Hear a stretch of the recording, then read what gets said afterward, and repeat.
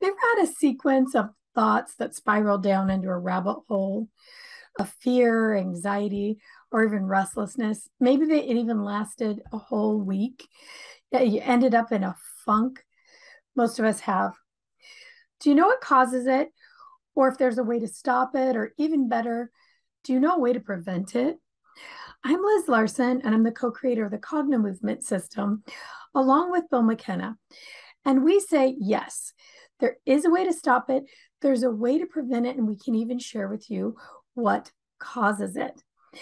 The answers and the solutions to spiraling thoughts and their underlying causes exist in the most ancient part of the human body, the limbic system. It's a part of the brain that manages fight or flight for the nervous system. In addition, this part of the body is responsible for threat assessment. It keeps track of what has harmed you in the past, physically or emotionally, and keeps you notified if anything similar is likely to injure you again. These notifications show up as cycling or spiraling thoughts, anxiety, irrational fears, and poor sleep. Mood and energy can seriously be affected, as well as your intellect. You can't think greater than you feel, is what Bill McKenna is always saying.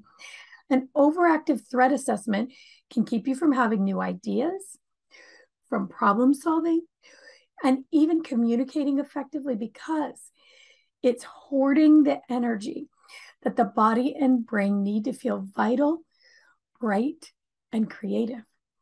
So, what's the fix? Number one, turn down the dial on your fight or flight response. Cycling thoughts are not created in the logical mind, they're initiated in the body. So you can use the body to stop them. Do the opposite of what a body in a dangerous situation would do, like breathe deeply. A body in distress doesn't stop to breathe deeply. Slow, deep breaths will signal that you're safe and thus down regulate the nervous system into a calmer state. Your thoughts will follow. Here's a really easy trick. Once you breathe deeply, move your eyes upward like this. Stretching your eyes upward accesses the part of the brain that's responsible for ideas and inspiration. When there's a lion on your butt, you do not stop to gaze up at the sky.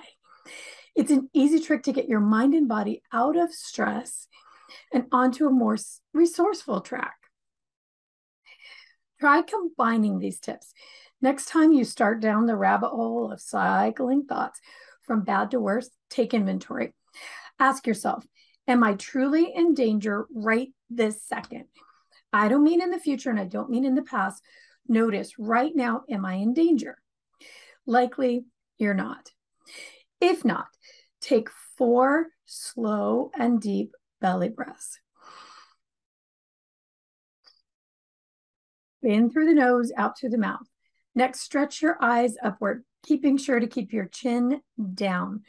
Make the eyes stretch upward. When your eyes are in the up position, you access the part of the brain responsible for ideas and information, inspiration as well. So then next, shift your eyes side to side in a tick-tock like this. You'll be accessing more parts of your brain, more ideas, and more inspiration. And breathe.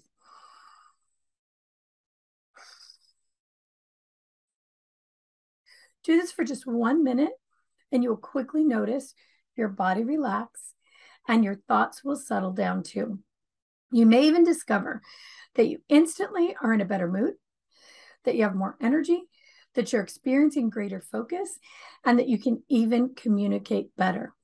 You may even come up with some great ideas. Try this out. Let me know how it works for you. For more information or to find out more about the work that Bill and I do, please visit us at cognomovement.com or email us at info at cognomovement.com. See you again soon.